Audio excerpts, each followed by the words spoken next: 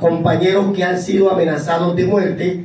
Por ejemplo, en el Alto San Jorge se han quemado dos vehículos de Afinia.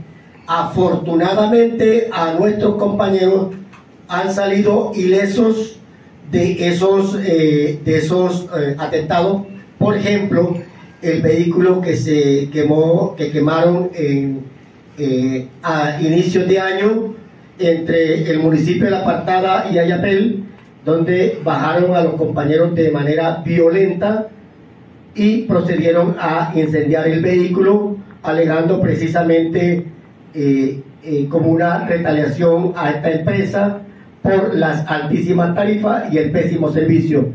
De igual manera, en el municipio de Puerto Libertador fueron retenidos dos compañeros y el vehículo por espacio de nueve horas se le comunicó a Electricaribe la situación, a Finia, perdón, a Finia, la situación de los compañeros y la respuesta oronda de Afinia fue que esos compañeros estaban ahí porque querían estar ahí con la comunidad.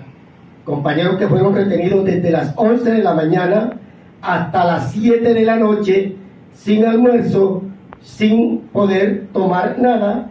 Y la empresa cuando se le comunicó eso, la respuesta es que ellos estaban allí porque querían, o era por voluntad propia. Luego la semana siguiente, la empresa nuevamente envía a esos compañeros para ese sector dos hombres armados los amenazaron y hicieron varios disparos y les plantearon que si no se bajaban los iban a prender con el vehículo y el vehículo efectivamente le